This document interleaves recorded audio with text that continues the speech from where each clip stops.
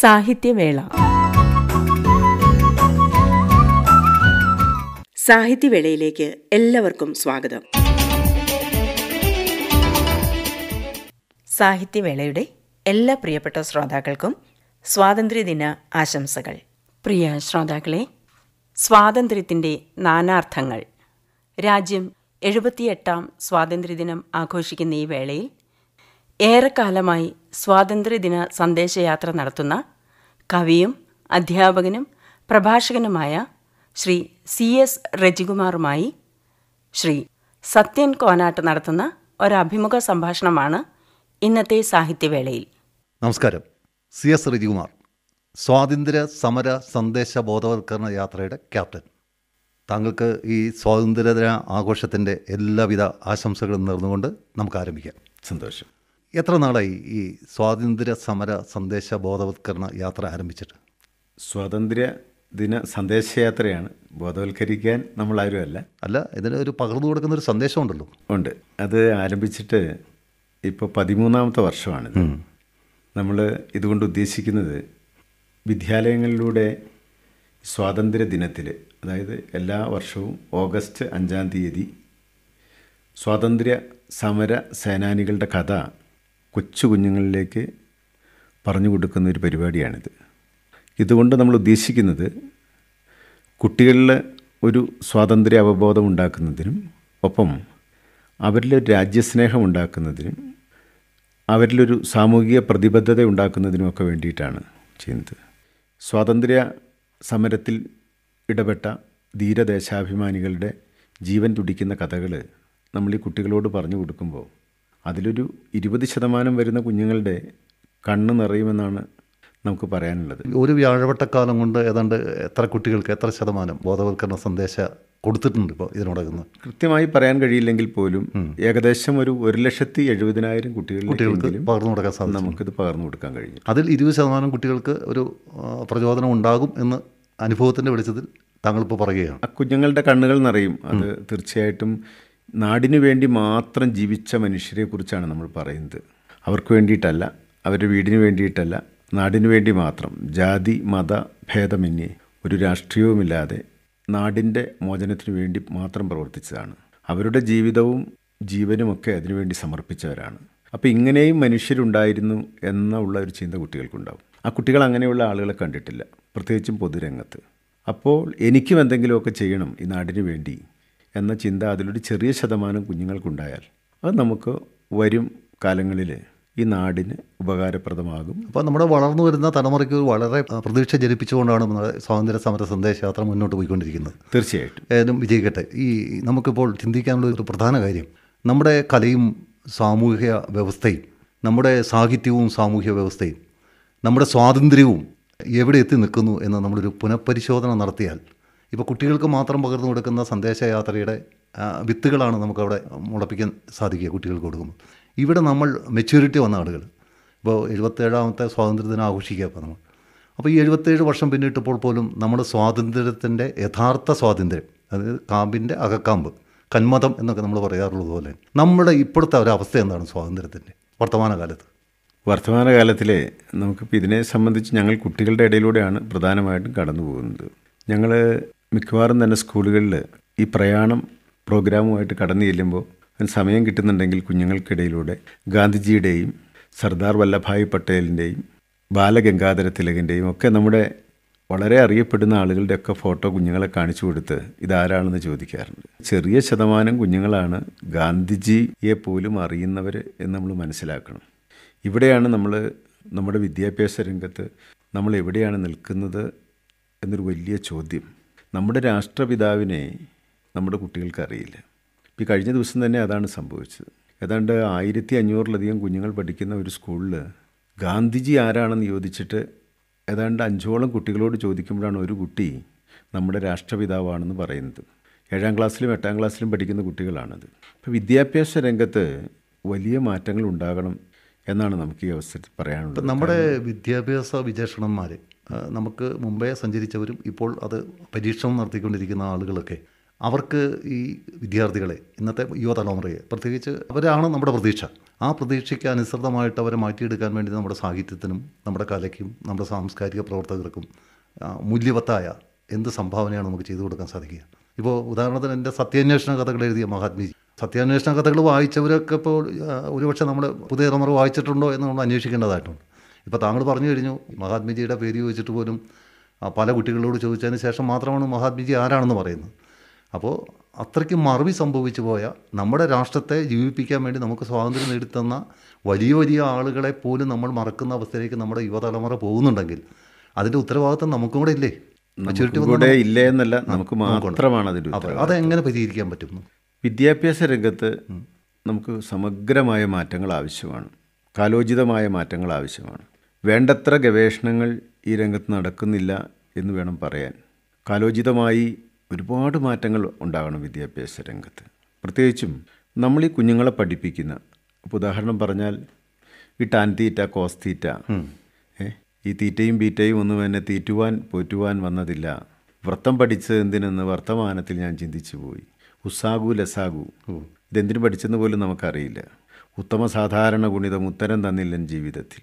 അങ്ങനെ ഉത്തരം കിട്ടാത്ത ഇത്തരം ഒരുപാട് കാര്യങ്ങൾ നമ്മൾ വിദ്യാഭ്യാസ കാലഘട്ടത്തിൽ പഠിക്കുന്നുണ്ട്. താങ്കൾ ഇപ്പോൾ പറയുന്ന വിദ്യാഭ്യാസത്തെ പറ്റി പറഞ്ഞുകൊണ്ടിരിക്കുമ്പോഴും ഈ ചോദ്യാർത്ഥവായ എനിക്കും ഇത് തന്നെയാണ് പറയാനുള്ളത്. ഇനി ഞാനും ചോദിച്ചു പോയി എന്നോട്. ഒരു ടൈമിലാകെ കൊടുത്തുകൊണ്ടിരുന്നു നാല് രൂപ ആയിരുന്നു ഞാൻ പഠിച്ചുകൊണ്ടിരുന്ന കാലത്തുള്ള ഫീസ്. ഏതോ സർക്കാർ സ്കൂളുകളിൽ. പക്ഷേ ഇന്ന് സർക്കാർ സ്കൂളുകളുടെ മറ്റ് ഭൗതിക സാഹചര്യങ്ങളൊക്കെ മാറി മെച്ചപ്പെട്ടു. പക്ഷേ നമ്മുടെ പല കുട്ടികളെയും നമ്മൾ രക്ഷകർത്താക്കൾ ഗവൺമെന്റ് സ്കൂളുകളിൽ നിന്നും വലിച്ചെടുത്തു കൊണ്ടുപോയി പ്രൈവറ്റ് വിദ്യാലയങ്ങളിൽ പഠിപ്പിക്കുകയും അവരെ ആംഗലേയ ഭാഷയ്ക്ക് വശംബദ്ധമാക്കുകയും ചെയ്യുന്ന ഒരവസ്ഥ ഇപ്പം നമുക്ക് നേരിട്ട് കാണാൻ സാധിക്കും. തീർച്ചയായിട്ടും. ഇതൊക്കെ സംഭവിക്കുന്നതുകൊണ്ട് നമ്മുടെ ഇപ്പോൾ സാഹിത്യമൂല്യം ഇപ്പോൾ നമ്മൾ നമ്മുടെ എഴുത്തുകാർ മലയാളത്തിന്റെ നമ്മുടെ ഭാഷയുടെ നമ്മുടെ പെറ്റമ്മയുടെ ഭാഷ ഉച്ചരിക്കുന്ന ഭാഷയാണ് നമുക്ക് കൈകാര്യം ചെയ്യാൻ സാധിക്കുന്നത്. പ്രത്യേകിച്ച് സാഹിത്യ രംഗത്തുള്ള ആളുകൾ അവരൊക്കെ സംഭാവന ചെയ്ത മൂല്യവത്തായ കൃതികൾ വായിക്കുന്നതിനപ്പുറത്തേക്ക് ഇംഗ്ലീഷ് സാഹിത്യമാണോ? അതെയോ അല്ല അവിടെ എനിക്കൊരു പ്രധാനപ്പെട്ട കാര്യം സൂചിപ്പിക്കാനുള്ളത്.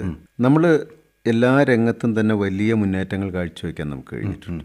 ശാസ്ത്ര രംഗത്ത് സാങ്കേതിക രംഗത്ത് ആരോഗ്യ രംഗത്ത് സമസ്ത മേഖലയിലും വലിയ മുന്നേറ്റം കാഴ്ചവെക്കാൻ കഴിഞ്ഞിട്ടുണ്ട്. പക്ഷേ സർഗാത്മക രംഗത്ത് നമ്മൾ വളരെ പിന്നിലായിരുന്നു.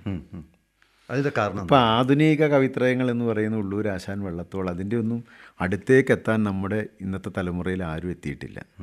ഇനിയിപ്പോൾ കഴിഞ്ഞ കാലത്ത് നമ്മുടെ വയലാർ പോലുള്ള ഒരു കവി നമുക്ക് പിന്നീട് ഉണ്ടായിട്ടില്ല. ഇനിയിപ്പോൾ ഇപ്പോൾ ജീവിച്ചിരിക്കുന്ന യേശുദാസ് ഈ ലെവലിലേക്ക് ആൾക്ക് എത്താൻ കഴിയുന്നില്ല. ഇപ്പോൾ സർഗാത്മക രംഗത്ത് വലിയ പിന്നോക്കം പോക്കാണ്.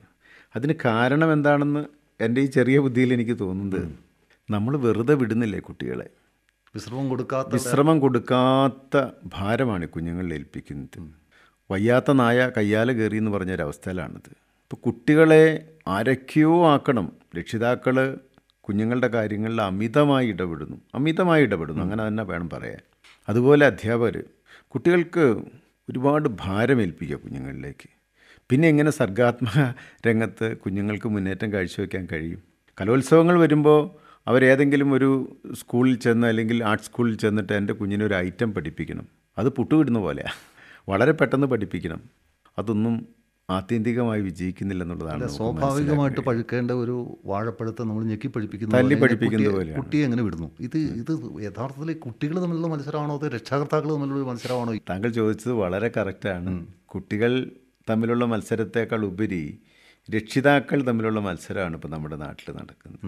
ഇപ്പം ഞാൻ നമ്മൾ പഠിച്ചുകൊണ്ടിരുന്ന കാലത്ത് ഏതാണ്ടൊരു അൻപത് വയസ്സ് പ്രായമുള്ള ഏകദേശം ആളുകളെക്കുറിച്ച് ഞാൻ പറയുന്നത്. അവരേത് ക്ലാസ്സിലാണ് പഠിക്കുന്നതെന്ന് ചോദിച്ചാൽ അന്നത്തെ കാലത്തെ രക്ഷിതാക്കളിൽ ബഹുഭൂരിപക്ഷവും അവൻ ഏഴിലായിരുന്നോ എട്ടിലാണോ പഠിക്കണേ എന്നൊരു സംശയം പറയും. സംശയം പറയും. എല്ലാവരും കൃത്യമായിട്ട് പറയണമെന്നില്ല എല്ലാവരും പറയില്ലെന്നല്ല ഞാൻ പറയുന്നത്. അത്രമാത്രം ഒരു ഇടപെടലേ ഉണ്ടായിരുന്നുള്ളൂ. പക്ഷെ ഇന്ന് പ്രത്യേകിച്ച് അമ്മമാർ ആ കുട്ടികൾ പഠിക്കുന്ന ക്ലാസ് അറിയാം അവന്റെ ഡിവിഷൻ അറിയാം അവരുടെ അധ്യാപകരുടെ എല്ലാം പേരറിയാം അവൻ പഠിക്കുന്ന ഓരോ പുസ്തകത്തിൽ അവന്റെ ചാപ്റ്റർ അറിയാം അവന് കഴിഞ്ഞ പ്രാവശ്യം എത്ര വിഷയങ്ങൾക്ക് എ പ്ലസ് നഷ്ടപ്പെട്ടു എന്നറിയാം. ഇതെല്ലാം ഇവർക്കറിയാം. ഈ കുഞ്ഞുങ്ങളെ അഘോരണമായി സമ്മർദ്ദത്തിൽപ്പെടുത്തുകയാണ്. കുട്ടികൾക്ക് ക്ലാസ് കഴിഞ്ഞ് വന്നാൽ പിന്നെ ട്യൂഷൻ. ക്ലാസ് കഴിഞ്ഞ് വീട്ടിലേക്ക് എത്തിക്കഴിഞ്ഞാൽ സ്കൂളിൽ നിന്ന് തന്നെ ഓവർലോഡ് വരുന്നു. പിന്നെ ട്യൂഷൻ. അപ്പോൾ ഇതുവരെ കഷ്ടപ്പെട്ടാണ് പഠിക്കുന്നത്. താങ്കൾ ഇതൊക്കെ പറയുമ്പോൾ നമ്മളെ കൊണ്ട് ഒരു പുതിയ ചിന്ത നൽകുക നമുക്ക്. ഇതെന്താ വെച്ചാൽ ഇത്രയും റിസ്ക് എടുത്തിട്ട് ഈ രക്ഷാകർത്താക്കൾ ഇപ്പം നമ്മളൊക്കെ പഠിച്ചുകൊണ്ടിരുന്ന കാലത്ത് നമ്മുടെ രക്ഷാകർത്താക്കളൊക്കെ ഒരുപക്ഷെ ഈ ഈ കാർഡ് കൈ കിട്ടുമ്പോൾ പരീക്ഷയ്ക്കുള്ള കാർഡ് കൈ കിട്ടുമ്പോൾ മാത്രമാണ് മാർക്ക് കുറഞ്ഞുള്ള കുട്ടികളെ ഈ രക്ഷാകർത്താക്കളെ വിളിച്ചുകൊണ്ട് വരാൻ പറയുക. ഇപ്പോൾ അച്ഛന് പോകാൻ പറ്റിയില്ലെങ്കിൽ ഭാര്യ അമ്മ ചെന്ന് ഈ കുട്ടിയുടെ പ്രോഗ്രാമിലൊക്കെ പങ്കെടുക്കുന്ന ഒരു കാഴ്ചയാണ് ഇപ്പോൾ നമ്മൾ കണ്ടുകൊണ്ടിരിക്കുന്നത്. ഇത്രയും ഉത്തരവാദിത്തങ്ങളൊക്കെ നടത്തി ഈ കുട്ടികളെ പഠിപ്പിച്ചിട്ട് യഥാർത്ഥത്തിൽ ഇപ്പോൾ ഈ സ്വാതന്ത്ര്യ ദിനത്തിൽ ചോദിക്കാനുള്ള പ്രസക്തമായ ഒരു കാര്യം ഈ കുട്ടികൾക്ക് സ്വാതന്ത്ര്യം ലഭിക്കുന്നുണ്ടോ? നമ്മൾ രക്ഷാകർത്താക്കൾ കൊടുക്കുന്നുണ്ടോ? വിദ്യാഭ്യാസ പദ്ധതികൾക്കിടയിൽ അവനൊരു ശുദ്ധവായു ശ്വസിക്കാനുള്ള അവന്റെ ചിന്തകളെ ഒന്ന് ഉത്തേജിപ്പിക്കാനുള്ള ഇപ്പോൾ താങ്കൾ ആദ്യം പറഞ്ഞു സർഗശേഷി. അവന്റെ ചിന്തകൾക്ക് അവരെ വിടേണ്ടതല്ലേ? ഉണ്ണിയുടെ കയ്യിലെ പാവയോട് ഉണ്ണിക്ക് കൊഞ്ചിക്കുഴയുവാൻ നേരമില്ല. ഉണ്ണി സ്വയം ഒരു പാവയായി തീർന്നിട്ട് ആടണം പാടണം തുള്ളണം പോൽ. അതാണ് അവസ്ഥ. അവരെ ഇങ്ങനെ പ്രത്യേകരവസ്ഥയിലേക്ക് കൊണ്ടുപോവുകയാണ്. അതിന് പ്രധാനപ്പെട്ട ഒരു ഒരു റിസൾട്ടാണ് നമുക്കിപ്പോൾ കിട്ടുന്നത്. വിദ്യാഭ്യാസ രംഗത്ത് നമ്മൾ വലിയ മുന്നേറ്റം കാഴ്ചവെക്കുമ്പോൾ നമ്മുടെ നാട്ടിലെ അനാഥാലയങ്ങൾ പെരുക അച്ഛനമ്മമാരിൽ നിന്ന് ഇവർ ഒരുപാട് അകന്നു പോവുക. അവരെ അച്ഛനമ്മമാരെ നോക്കാത്തവരായി തീരുക. അപ്പം ഈ വിദ്യാഭ്യാസത്തിന്റെ പ്രസക്തി എവിടെയാണ്? അച്ഛനെയും അമ്മയെയും അധ്യാപകരെയും അയൽക്കാരെയും അശരണരെയും അറിയുക എന്നുള്ളതാണ് ഇതിന്റെ ഒരു പരമപ്രധാനമായിട്ടുള്ള കാര്യം. ഇവർ കൊണ്ടുപോയി അനാഥാലയം അനാഥാലയങ്ങൾ കേരളത്തിൽ പെരുകുന്നു.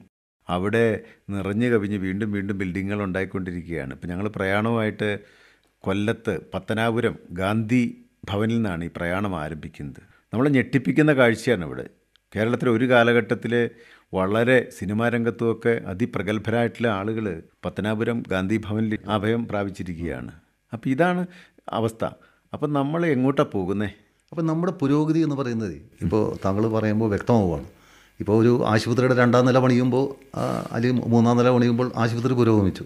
പക്ഷേ യഥാർത്ഥത്തിൽ അവിടെ രോഗികൾ കൂടുതൽ ഉള്ളത് കൊണ്ടല്ലേ ഈ ആശുപത്രിയുടെ രണ്ടാം നില പണിയാൻ സാധിക്കുന്നു തീർച്ചയായിട്ടും. അപ്പോൾ അത് നമ്മളിപ്പോൾ ചെയ്തുകൊണ്ടിരിക്കുന്നത് നമ്മൾ വളവുള്ള ഒരു റോഡ് അവിടെ സ്ഥിരമായി വണ്ടി മറിയുന്നുണ്ട്. ആ വണ്ടി മറിയുന്ന സ്ഥലത്ത് നമ്മളൊരു ആശുപത്രി കെട്ടുക ചെയ്യുന്നത്. നമ്മൾ വളവ് നിവർത്തുകയല്ല ചെയ്യുന്നത്. അതാണ് ഇപ്പം നമ്മൾ ചെയ്തുകൊണ്ടിരിക്കുന്ന പരിഹാര മാർഗം. ഇതിന് സമൂലമായൊരു മാറ്റത്തിന് വേണ്ടി ഇവിടുത്തെ സാഹിത്യകാരന്മാർക്ക് സാംസ്കാരിക പ്രവർത്തകർക്ക് പ്രത്യേകിച്ച് സാമൂഹ്യ പ്രതിബദ്ധതയുണ്ടെന്നൊക്കെ നമ്മൾ മലയാളത്തിൽ പറയാറുണ്ട്. അപ്പോൾ ആ പ്രതിബദ്ധതയുള്ള ആളുകളുടെ ഒരു കൂട്ടായ്മ ഉയർത്തെഴുന്നേൽക്കേണ്ട സമയം കഴിഞ്ഞില്ലേ? ഈ സ്വാതന്ത്ര്യദിനത്തിന് തന്നെയെങ്കിലും നമുക്ക് അങ്ങനെ ഒരു കൂട്ടായ്മയ്ക്ക് വേണ്ടി ശ്രമിക്കേണ്ടതല്ലേ? അല്ല ഇത് ഇത്തരം ചർച്ചകൾ ഇതിനൊരു തുടക്കമാണ്. ഒരു തീപ്പൊരി ആയിരിക്കാം. ഇത് പലയിടങ്ങളിൽ ഇത്തരം ചർച്ചകൾ ഇപ്പോൾ ഉണ്ടായിക്കൊണ്ടിരിക്കുകയാണ്. ആ ചർച്ചകൾ ഇത് വേണ്ടപ്പെട്ട സ്ഥലങ്ങളിൽ പോയി തറയ്ക്കണം. കമ്മ്യൂണിക്കേഷൻ ഫലപ്രദമാകണം. സെൻട്രലിൽ നിന്ന് പോയി റിസീവറിൽ തറച്ച് അവിടെ ചലനങ്ങൾ ഉണ്ടാക്കണം.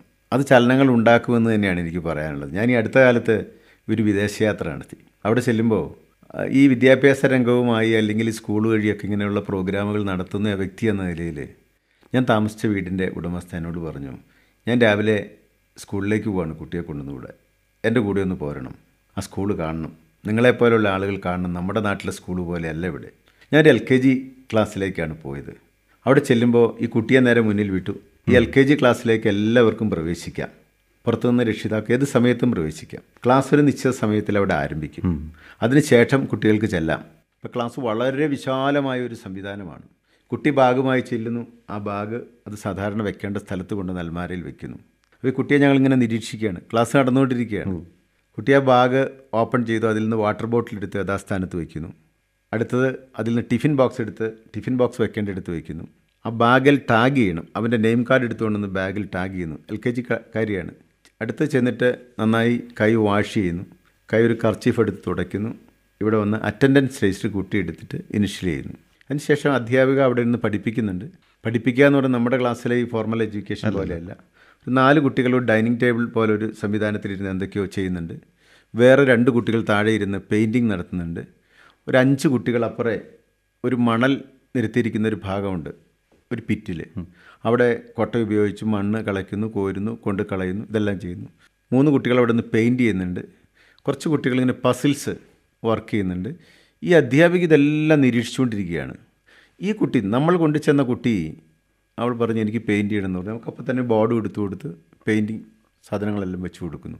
ഇവരിങ്ങനെ നിരീക്ഷിക്കുകയാണ്. കുട്ടികളെങ്ങനെ നിരീക്ഷിക്കുക മാത്രമേ ചെയ്യുന്നുള്ളൂ. കുട്ടികളുടെ ഒരു സഹായിയായിട്ടാണ് അധ്യാപിക അവിടെ ഉള്ളത്.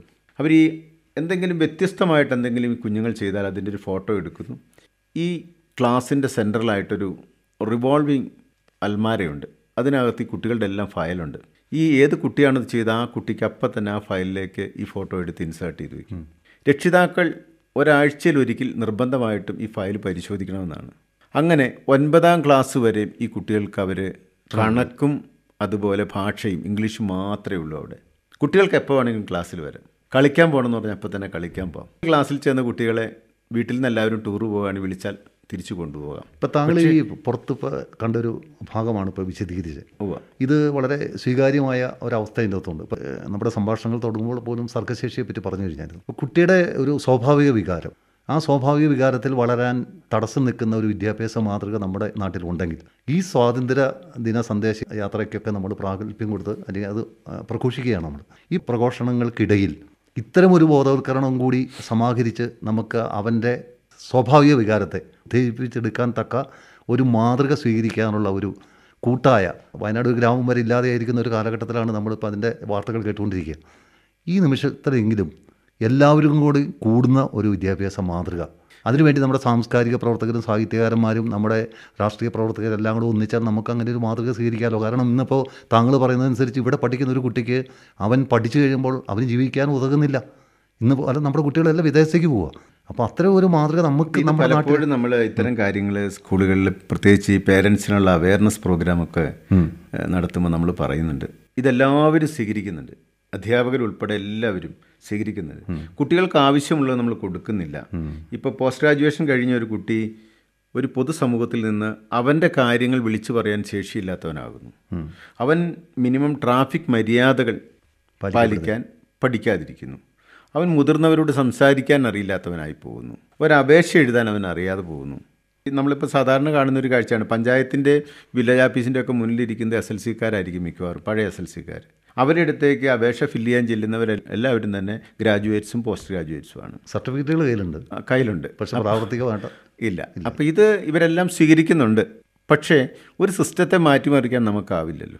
അതാണ് നമുക്കിവിടെ ഉണ്ടാകുന്ന ഒരു കാര്യം. അപ്പോൾ ഈ കാര്യങ്ങൾ രംഗത്ത് വരുന്ന ആളുകൾ വേണ്ടപ്പെട്ട ആളുകൾ ഇതിനെക്കുറിച്ച് വേണ്ടത്ര പഠനങ്ങളൊന്നും നടത്തുന്നില്ല. അവരവരുടെ ഒരു കാലഘട്ടം തള്ളി നീക്കി അങ്ങ് കടന്നു പോകുന്നു എന്ന് മാത്രമേ ഉള്ളൂ. കുട്ടികളുടെ അഭിരുചി എന്താണെന്ന് കണ്ടെത്തുക. അവരെ ആ വഴിക്ക് തിരിച്ചുവിടാൻ ശ്രമിക്കുക. ഒൻപതാം ക്ലാസ് കഴിഞ്ഞ കുട്ടികൾക്ക് മാത്രമാണ് ഇഷ്ടപ്പെട്ട കാര്യങ്ങളിലേക്ക് അവിടെ പോകുന്നത്. കുഞ്ഞുങ്ങളുടെ പെരുമാറ്റം.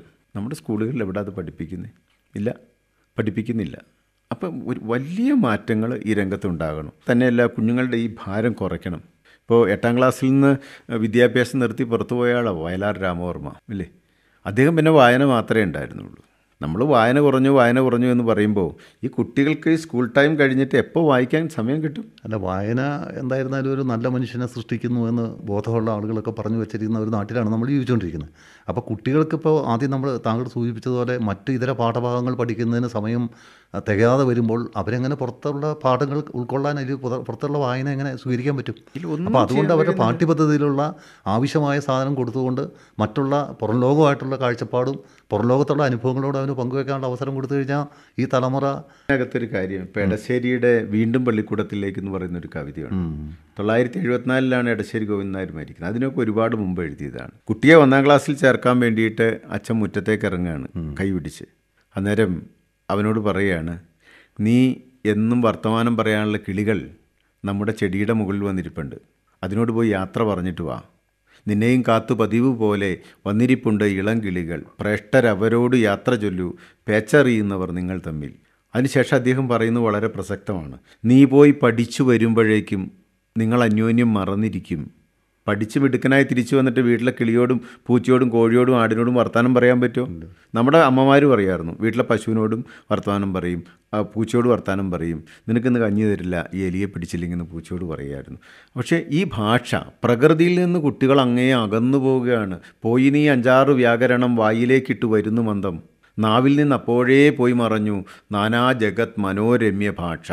അപ്പോൾ നമ്മളെ വിദ്യാഭ്യാസം കൂടുമ്പോൾ നമ്മുടെ പ്രകൃതിയുമായിട്ട് ഇവർ അകന്നു പോവുക മാനവികതയിൽ നിന്ന് ഇവർ അകന്നു പോവുക. ഈ സ്വാതന്ത്ര്യ ദിന സന്ദേശയാത്ര എന്ന് പറയുന്നത് ഒരു പരീക്ഷണം മാത്രമാണ് നമ്മളെ സംബന്ധിച്ച്. നമ്മൾ തമിഴിലൊരു ചൊല്ലുണ്ട്. മുടി മലയിൽ കെട്ടി വലിക്കുക. മുടിക്ക് തമിഴിൽ വേറൊരു പേരാണ് പറയുന്നത്.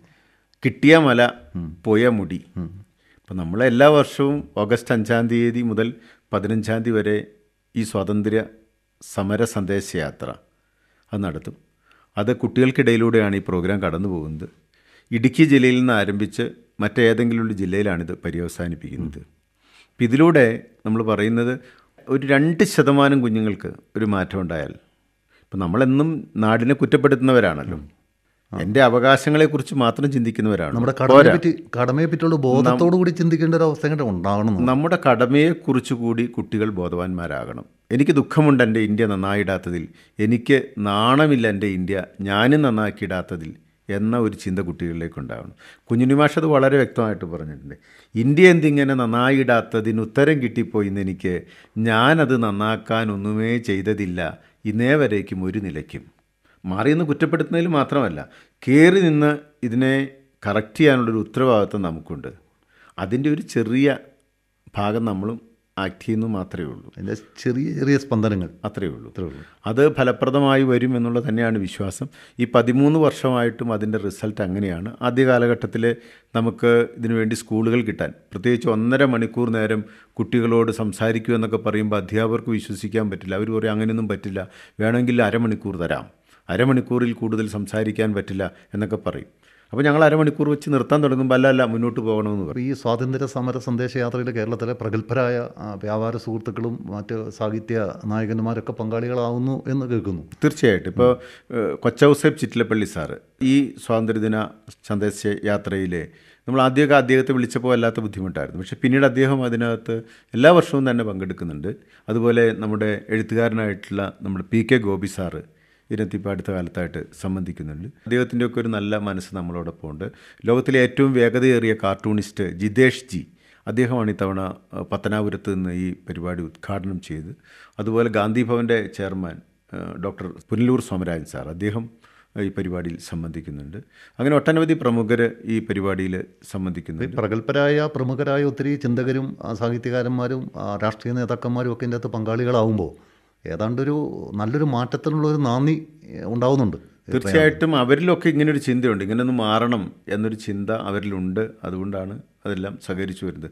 എന്തായാലും ഈ രാഷ്ട്രീയ രംഗത്ത് എന്തെങ്കിലുമൊക്കെ ജീർണത ഉണ്ടാകുന്നുണ്ടെങ്കിൽ അത് നമ്മുടെയൊക്കെ തന്നെ കുറ്റമാണ്. നല്ല ആളുകളുടെ നിഷ്ക്രിയത്വമാണ് ഈ നാടിനെ നശിപ്പിക്കുന്നത്. മറിച്ച് ചീത്ത ആളുകളുടെ ദുഷ്പ്രവൃത്തിയല്ല. ചീത്ത ആളുകൾ നാമമാത്രമായിട്ടേ ഉള്ളൂ. അതെല്ലാ എല്ലാ വിഭാഗത്തിലും ചീത്ത ആളുകളുമുണ്ട്. നല്ല ആളുകളുമുണ്ട്. അപ്പോൾ നല്ല ആളുകളുടെ നിഷ്ക്രിയത്വമാണ്. മാറി നിന്ന് കുറ്റപ്പെടുത്താതെ ഇതിനെ കയറി നിന്ന് നന്നാക്കണം എന്നുള്ള ചിന്തയാണ് നമ്മൾ കുഞ്ഞുങ്ങൾക്ക് പങ്കുവയ്ക്കുന്നത്. ഏതായിരുന്നാലും നമുക്ക് അവസാനിപ്പിക്കാനുള്ള സമയമായിട്ടുണ്ട്. ഈ പാരമ്പര്യ ബോധവും പരിഷ്കൃത ബോധവും തമ്മിൽ ബന്ധിപ്പിച്ച് നമുക്ക് മുന്നോട്ട് പോകാൻ സാധിച്ചാൽ ഇപ്പോൾ നമ്മുടെ സ്വാതന്ത്ര്യ സമര സന്ദേശയാത്ര നമ്മൾ നടത്തിക്കൊണ്ടിരിക്കുക. ഈ സന്ദേശയാത്രയുടെയൊക്കെ ഒരു ഫലം ഈ ഒരു കൂട്ടായ്മയിലൂടെ ഇവരെ ഒരു പുതിയ പഴയ തലമുറയും പുതിയ തലമുറയും തമ്മിലുള്ള ഒരു ബന്ധിപ്പിക്കലിലൂടെ അവരുടെ ഒരു കൂട്ടായ മുന്നേറ്റത്തിലൂടെ നമ്മൾ ഈ സ്വാതന്ത്ര്യദിനത്തിൽ അങ്ങനെയൊരു പ്രതീക്ഷ നമുക്ക് ജനിപ്പിച്ചുകൊണ്ട് താങ്കൾ നടത്തിക്കൊണ്ടിരിക്കുന്ന ഈ സ്വാതന്ത്ര്യദിന സന്ദേശ ബോധവത്കരണ യാത്രയ്ക്ക് എല്ലാവിധ ആശംസകളും അർപ്പിച്ചുകൊണ്ട് നമുക്ക് നിർത്താം. നമസ്കാരം.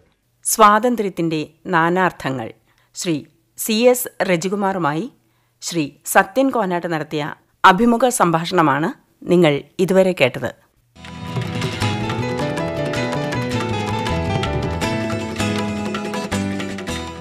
ഈ സാഹിത്യവേളയുടെ പുനഃപ്രക്ഷേപണം ശനിയാഴ്ച രാത്രി എട്ട് മണിക്ക്.